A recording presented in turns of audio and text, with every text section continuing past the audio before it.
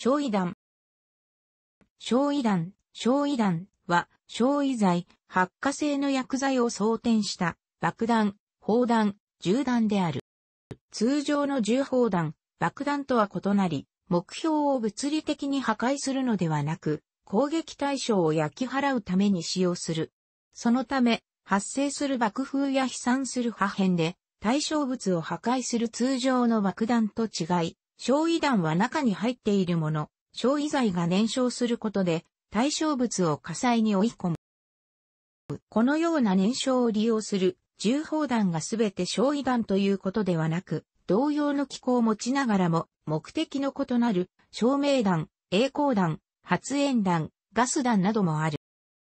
焼夷剤の種類で分類される。主剤ではないが、エレクトロン焼夷弾や油脂焼夷弾の添加剤にマグネシウムが使われることもある。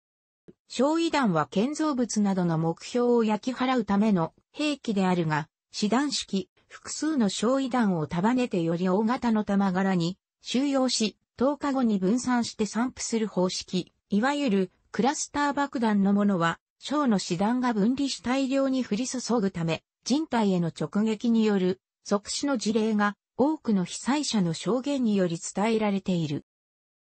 例えば戦争を題材にしたアニメ、映画では落下した焼夷弾が家屋や地面に激突し大爆発を起こし燃え上がる描写が多く見られる。実際には家屋や地面だけではなく避難民の頭上に大量に降り注ぎ、子供を背負った母親や上空を見上げた人間の頭部、首筋、背中に突き刺さり即死、そのまま燃え上がるという凄惨な状況が多数発生していた。王林焼夷弾の不発弾が地中に埋まり、それを含んだ土や岩が掘り起こされたりなどして空気に触れ発火するという事故が沖縄やフィリピンで起こり、新種の鉱物化と騒がれたことがある。日本でも2008年9月24日に青森県青森市栄町2丁目の住宅新築工事現場でショベルカーで掘削作業をしていたところ、中から掘り当てられた M47 六角焼夷弾の破片に残っていた王林が参加しとき炎や煙が上がった。陸上自衛隊第9師団が出動して、同日15時頃不発弾を回収した。特定通常兵器使用禁止制限条約の付属議定書3において、文民や人口密集地付近の目標に対して使用することは禁止された。ただし、イスラエル、韓国、トルコなどは未定薬である。6ポンド、約 2.7kg のナパーム弾。外形は六角柱。木造の日本家屋を効率よく焼き払うため、第二次世界大戦時に米軍が開発した焼夷弾。M69 焼夷弾一発あたりの大きさは直径8センチメートル、全長50センチメートル、重量 2.4kg 程度。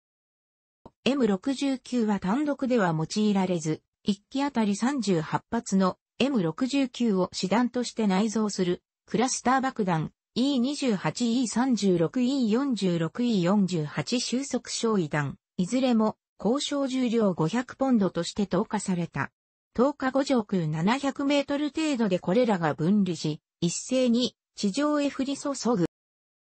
従来型に応輪を入れ威力を高めた新型焼夷弾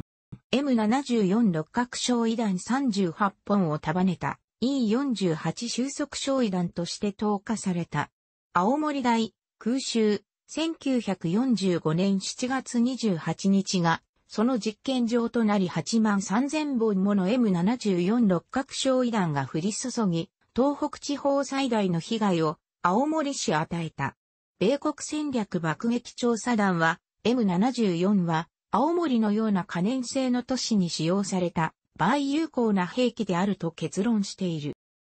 焼夷弾の発火は対象への激突後である。しかし、ホタルの墓をはじめとする戦時中を題材にした映画などでは、焼夷弾が火の雨となって落下する描写がある。多くの空襲被災者の証言に盛られる。そのため、空中で発火して、焼夷剤に引火させると誤解されていることがある。しかしこの時の火は、焼夷剤によるものではない。焼夷弾には、目標、木造家屋の瓦屋根などへの貫通力を高めるため、姿勢を垂直に保つ目的のストリーマーと呼ばれるリボン、青く細長い布が取り付けられている。上空での分離時に使用されている火薬によって、このリボンに着火し、それがあたかも火の帯のようになり、一斉に降り注ぎ、火の雨が降るように見えたと言われている。なお、親爆弾の解列には爆薬を用いず、従って、ストリーマーにも火がつくことはなく、風圧ではためくストリーマーに地上の火災が反映して火の雨に見えたのではないかと示唆する説もる。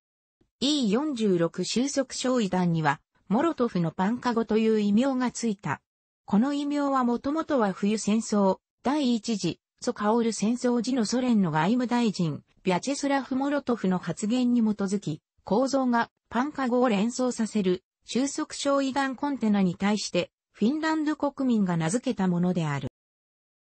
フィンランドの都市への空爆を非難されたモロトフ外相は爆撃ではなく、フィンランドの人民にパンなどを投下していると答えたとされ、その痛烈な皮肉以外の何者でもない発言に、対フィンランド国民は、ソ連の小型焼夷弾60発を収納するコンテナを、モロトフのパンカゴと呼ぶことで応じた。また、フィンランド兵はお返し、として対戦車用の火炎瓶をモロトフに捧げる確定と呼んだ。